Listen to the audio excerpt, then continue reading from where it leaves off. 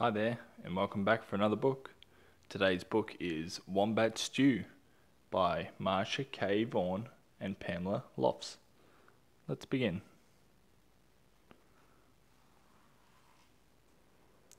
One day on the banks of a billabong, a very clever dingo caught a wombat.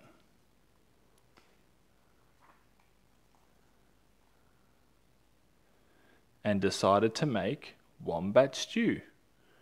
Wombat stew. Gooey, brewy, yummy, chewy, wombat stew.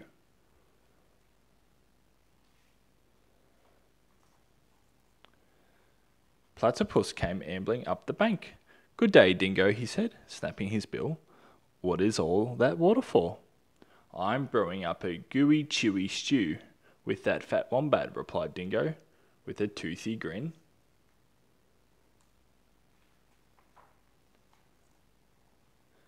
If you ask me, said Platypus, the best thing for a gooey stew is mud. Big blobs of billabong mud. Blobs of mud, Dingo laughed. What a good idea. Rightio, in they go. So Platypus scooped up big blobs of mud with his tail and tipped them into the billy can.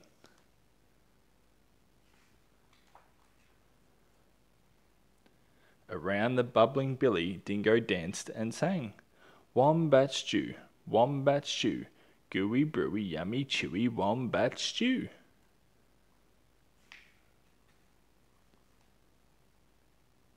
Waltzing out from the shade of the ironbarks came Emu. She arched her graceful neck over the brew. Oh ho, Dingo, she fluttered. What have we here? Gooey, chewy wombat stew, boasted Dingo. If only it were a bit more chewy, she sighed. But don't worry, a few feathers will set it right. Feathers? Dingo smiled. That would be chewy. Righto, in they go. So into the gooey brew, Emu dropped her finest feathers.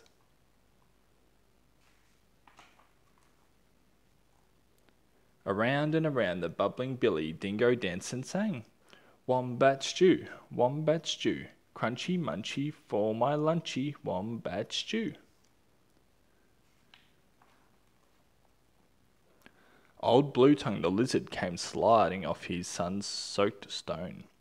Silly Dingo, he hissed.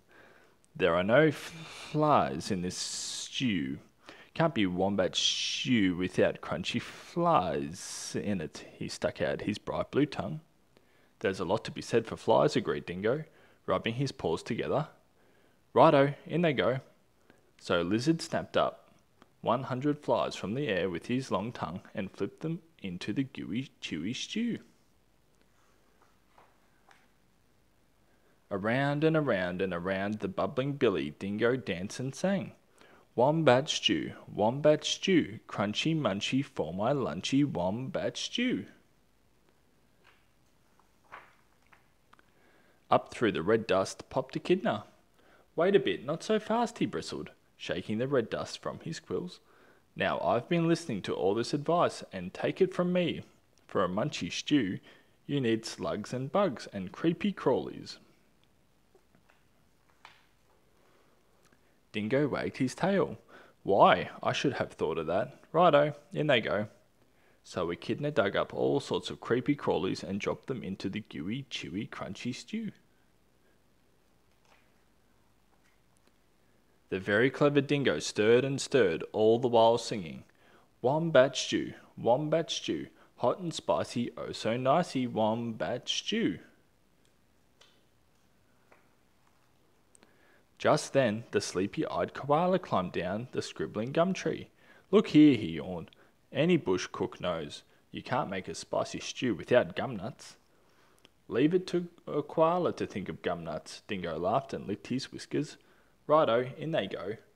And into the gooey, chewy, crunchy, munchy stew, Koala shook lots and lots of gum nuts. Aha! cried Dingo. Now my stew is missing only one thing. What's that? asked the animals. That fat wombat. Wait! Stop! Hang on, Dingo. You can't put that wombat into the stew yet. Why not? You haven't tasted it. Righto, I'll taste it. And that very clever dingo bent over the billy and took a great big slurp of stew. Ah, hooey, I'm poisoned, he howled. You've all tricked me. And he dashed away deep into the bush, never again to sing Wombat stew, wombat stew, gooey brewy, yummy chewy wombat stew.